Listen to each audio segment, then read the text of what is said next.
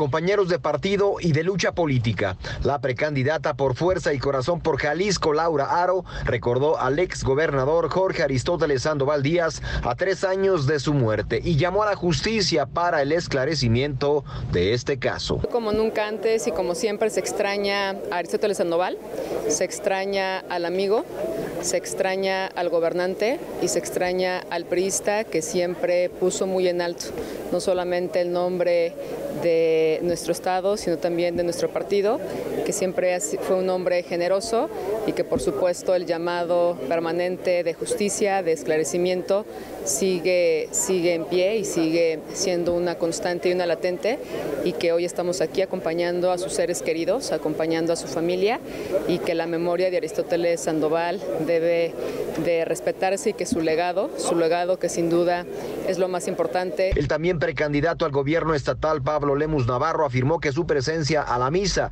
donde recordó la memoria del exmandatario a tres años de su muerte, se debió a su agradecimiento con Jorge Aristóteles Sandoval. estoy aquí porque Aristóteles como gobernador y como persona se portó siempre increíblemente bien conmigo, tanto él como Lore repito, como gobernador y como persona fueron cercanos, fueron de gran apoyo e impulso y aunque han pasado tres años, yo estoy aquí para dar las gracias, darle las gracias a Aristóteles. Al cuestionarle si existe justicia en el caso, señaló que de llegar a la gubernatura realizaría una investigación.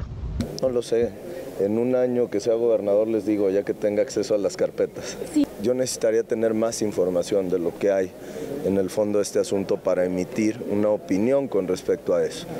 Pero evidentemente pues no la tengo en estos momentos y es muy difícil para mí fijar un criterio. Eh, pero les prometo que siendo gobernador vamos a echarle una investigación al caso. Con imágenes de Juan González para UDGTV Canal 44, Iván de León Melendres.